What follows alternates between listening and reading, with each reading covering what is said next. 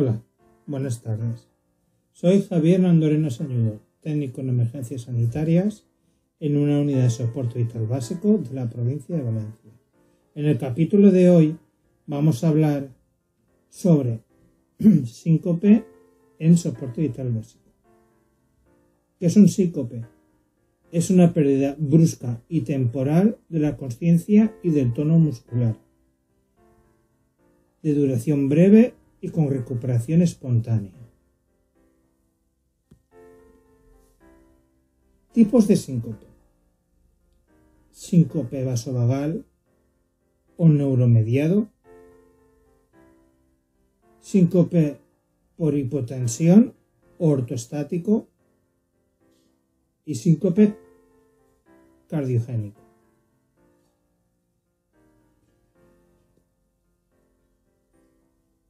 ¿Qué es un síncope vasovagal?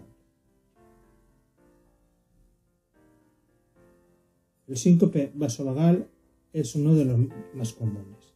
Se suele producir sobre todo en la gente joven, debido a una bajada de la frecuencia cardíaca, estrés, ansiedad, calor, un nivel emocional. Es el típico síncope de la persona joven que va corriendo y pierde el conocimiento o cuando una crisis de ansiedad llega a ciertos niveles pueden llegar a perder la conciencia. Ese es un síncope vasovagal o neuromediado. También se puede producir por hipotensión y se suele presentar unos síntomas característicos. Radicardia, piel fría, sudoración, palidez cutánea, es también el típico síncope de la terracita en verano. Hace mucho calor, se sientan a comer, el estómago lleno, quizás alguna bebida alcohólica y debido a la alta temperatura, efecto la digestión, baja la tensión arterial y se sincopa.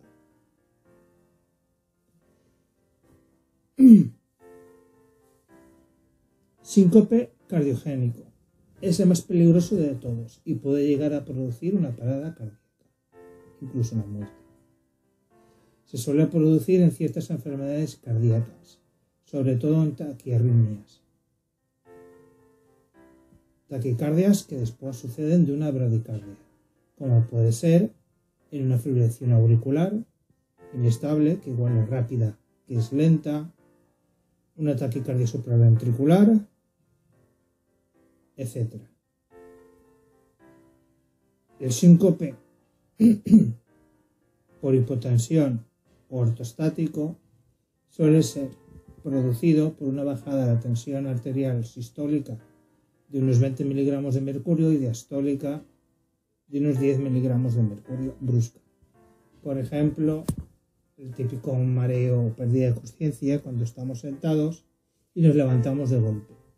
Esto es más común en la gente mayor, sobre todo cuando tienen ciertos problemas de salud.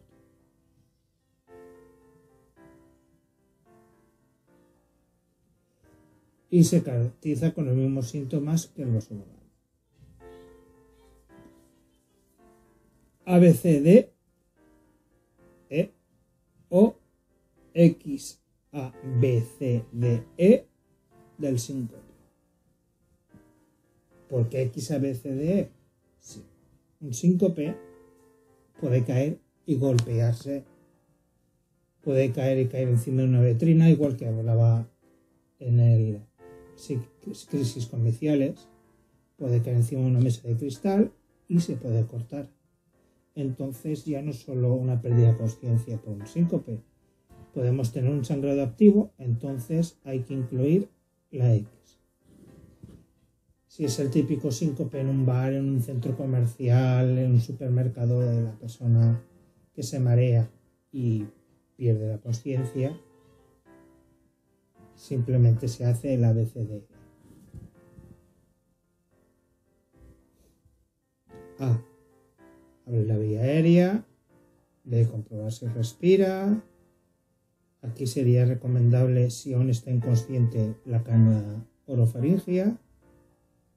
C. Comprobar si tiene pulso. Y aquí podríamos también eh, incluir la toma de tensión arterial y pulsiosimetría.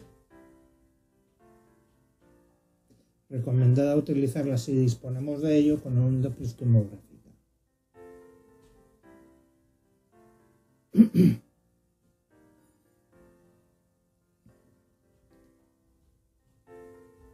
En la D, exploración neurológica, se puede hacer la glucemia. Valoraremos la escala de Glasgow y reflejo pupilar.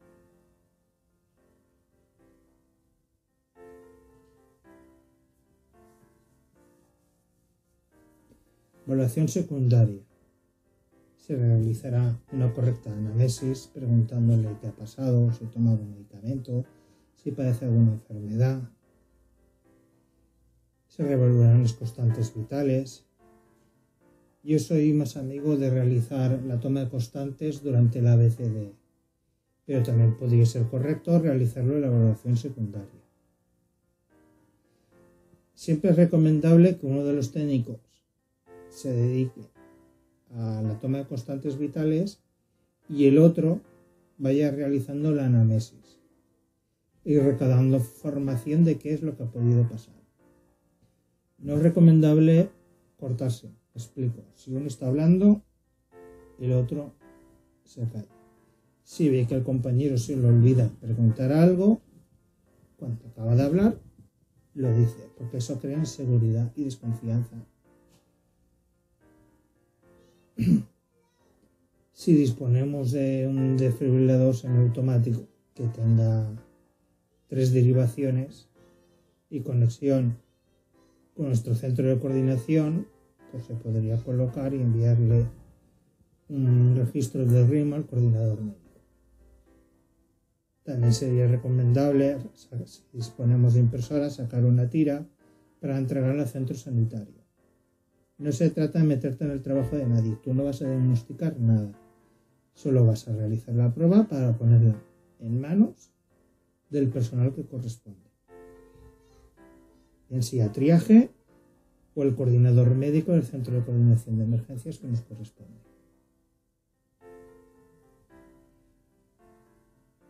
Traslado y atención durante este.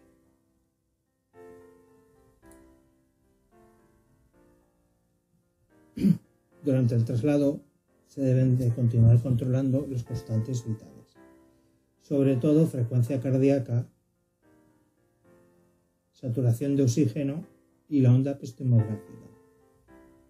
También la tensión arterial. La onda epistemográfica de un pulsiosímetro nos puede dar mucha información porque según su forma y amplitud nos puede indicar si está hipotenso, si está bien perfundido, si hemodinámicamente está compensado, etc. Si el paciente tenía la tensión baja, se, podría se debería trasladar en posición de trello.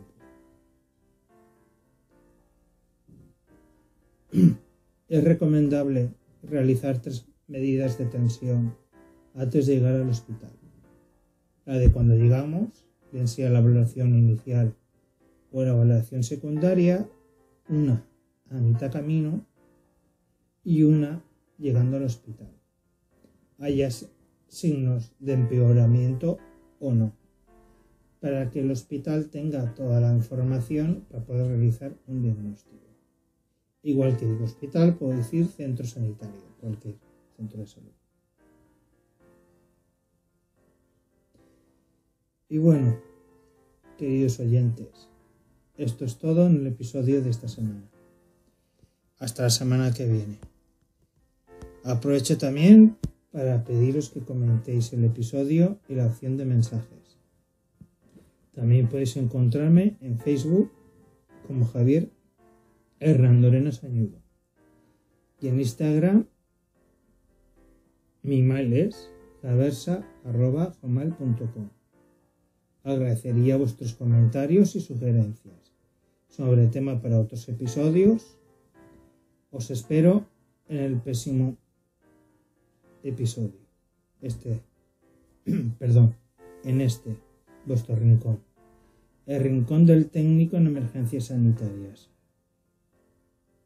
y como siempre, nos vemos cuando suenen las sirenas.